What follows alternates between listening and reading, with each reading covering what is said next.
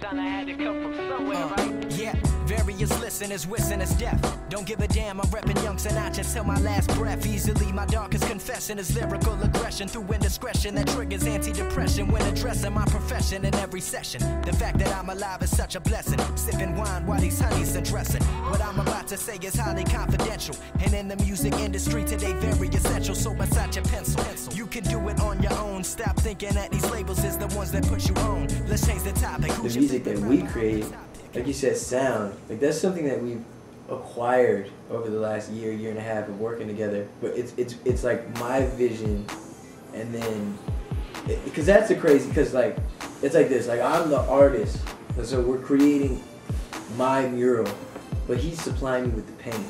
You see what I'm saying? And um, but instead of just giving me blue, red, yellow, green, like what I create, just like what he creates inspires me, and what I create, what type of sound I want inspires him to give me all types of different colors to essentially create this painting. Yeah, I think like a big yeah a big part of our sound is is like it comes down to our samples. I really, that's the sample starts everything. Yeah. At least when we create something. And the funny thing is, sorry to cut you off. Yeah. when we say samples, we mean songs. Yeah. like we don't even call songs songs We'll anymore. yeah, we'll hear a song on the radio and call it a sample. Sample. Or we'll, or we'll listen or watch a movie or something. Like, oh, did you hear that sample in the That's background? Yeah, it's just it's it's it It's starts weird. it starts everything. If you hear a sample, it I think it took me what eight to eight months to a year to really know what sound he's looking for. Yeah.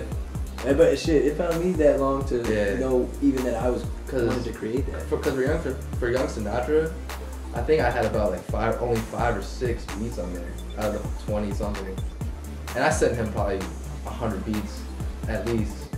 And we made a bunch. And we made a bunch, and we just we I think we we're confused. We were, we were confused. We were just know. finding We were ourselves. finding, we were finding our sound, and now I think Now we got that shit. we're more consistent. Like I'll send him a beat, and he'll kill it. But it's always changing. That's the good thing, and that's when it comes down to feeling. So it's not necessarily one sound, but it is one feeling where you know, like, oh man, this is logic, Yeah. because it's gonna change. Like at the end of the day, if you listen to Reasonable Doubt, you know that's Jay Z. If you listen to Watch the Throne, you know that's Jay Z. Exactly. But is it the same sound? Hell no. Nah, No way. Yeah. Same with Kanye. It's just on a bigger level. Like as we as he goes from next chapter to this next one, it's just a bigger bigger sound. It's, it's, it's still logic is bigger, just bigger. Elaborate. Um, just in the production, the lyrics, and Everything. everything. Just everything is big. It just takes it to the next level. What he's talking about.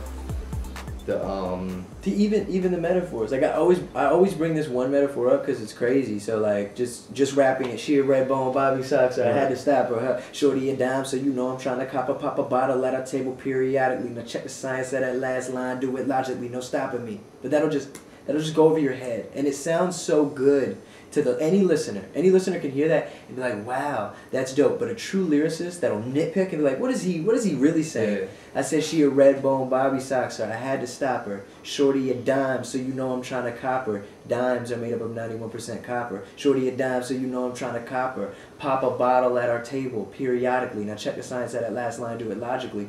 Copper is on the periodic table. Like and just go. Everything is so deep. So from those lyrics, nothing like that. Was It's a fun. It's like a fun song too. It's like Fun. a fun song about girls, but he's saying some real shit. Yeah. So it's like we're combining everything into each song, so everyone can relate. And when people always like sometimes fans, you know, they're younger, so they might not understand. They're like, "Don't go mainstream, don't go mainstream." You know what they mean is like, "Don't sell out and don't do this and don't that." But they just have this one sound. They don't understand that like I can make a club record, but they'll just hear the beat and hear the sound and be like, "Oh, he's selling out." No, really listen to what I'm saying. Did you just hear what I said about copper and all this stuff on a Yeah. mainstream song? Nobody does that, and and nobody creates beats like that that can inspire me to write those records. I mean, that's why, man. It's rap that. But. Uh, uh, uh, yeah, V's up, motherfucker, what it is. Visionaire, we taking over the whole biz. All over your city like we in a blow biz. Never go Hollywood, even knowing your show biz, baby girl. I just wanna give it to you like you never had it. When it comes to music, I'm an addict, a killer. Ain't another iller for realer, that's where the dealer. Rest in peace, the best with beats, and I'm about to bring the heat like 5 Cutting records when I'm out in Cabo. Logic, I'm more versed than the Bible. I'm liable to murder anybody that pretend to be a contender. There's no better than us. The second we bust, they got so trust where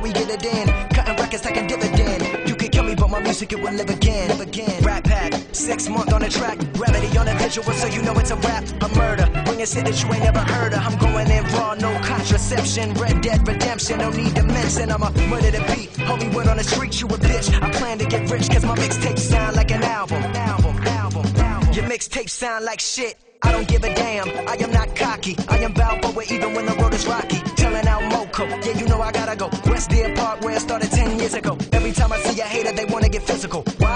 Why? Cause when they girls see me, we get physical. When it comes to women, I'm a Mac, you're Adele. Pick up the mic and I shall prevail. When the tide is high and the lights are low, you feel like there's nowhere to go.